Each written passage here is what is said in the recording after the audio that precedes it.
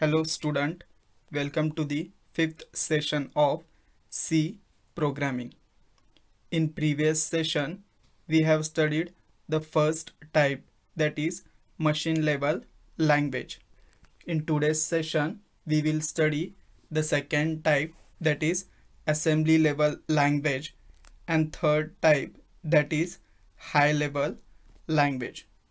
So let's start with this session.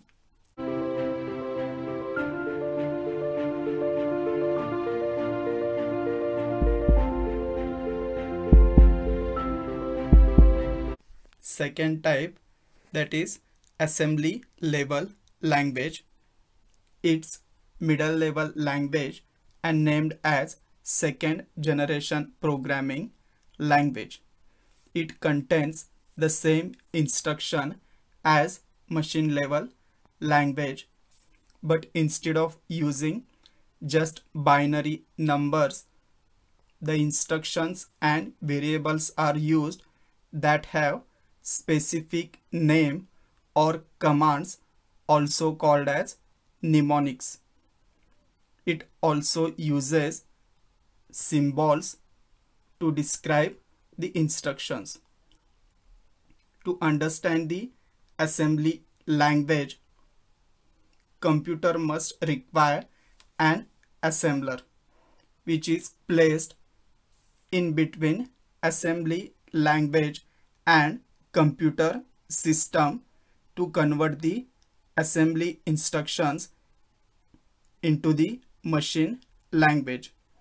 This assembler is software or a set of program which translate assemble language programming instruction into the machine language.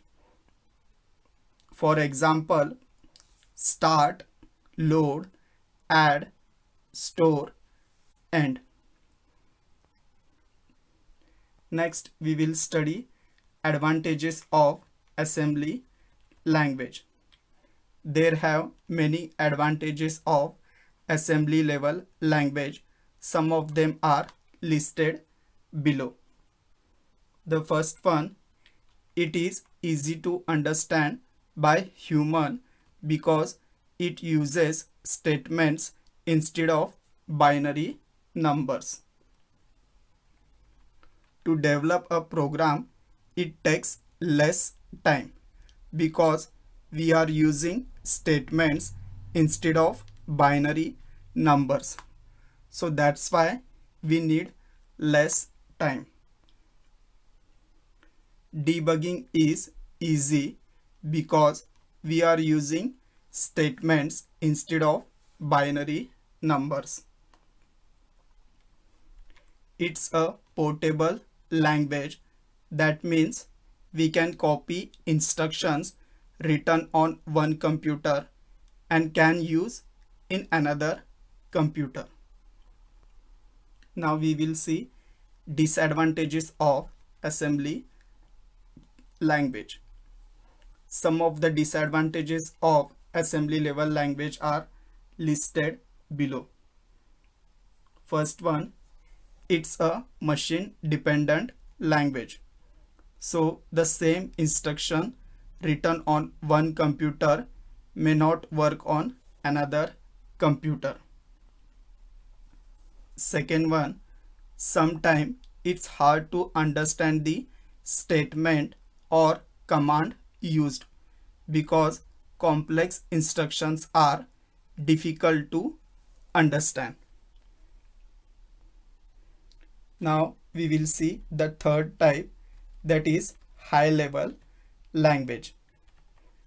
High level language is the upper level language and also known as third generation programming language. It is called as high level because the language which comes under this category are closer to human languages. Hence, this is highly understood programming language by human.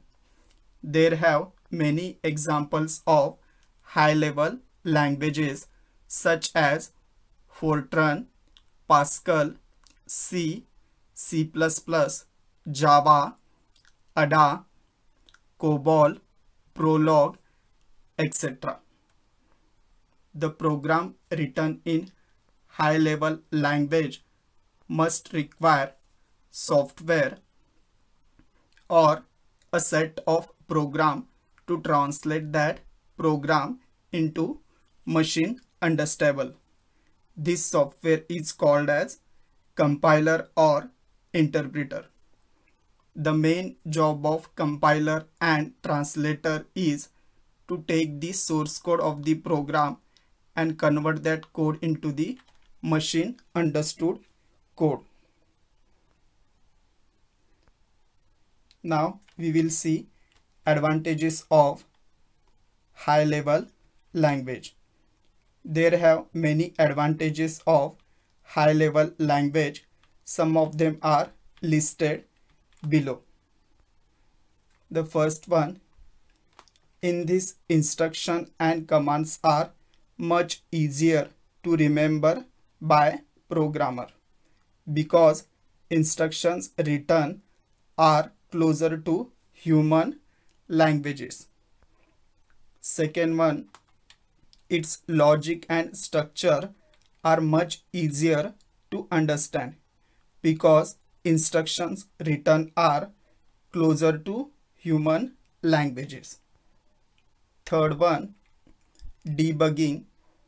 Debugging is easier compared to other languages because we are writing instructions in human language.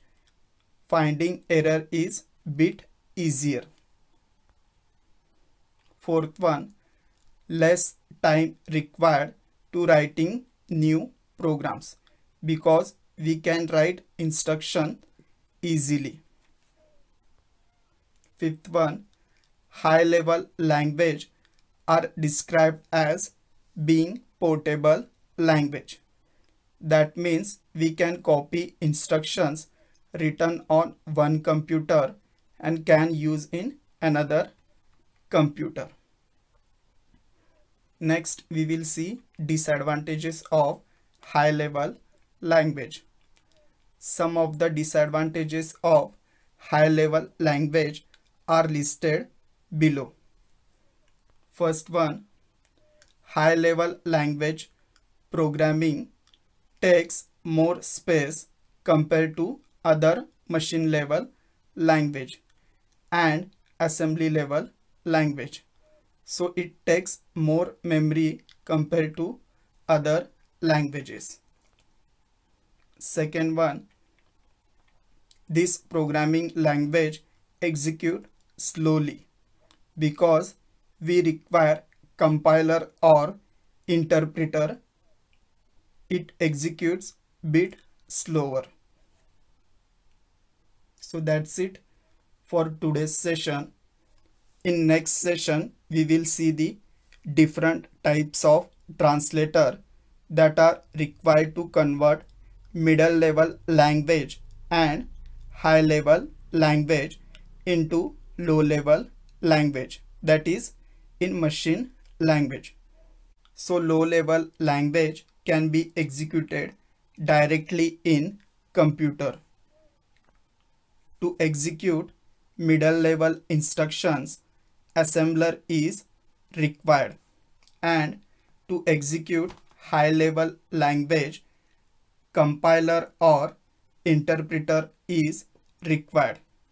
So all these translators are used to convert the instructions into binary code which can be easily understood by the computer. So we will see this in next session.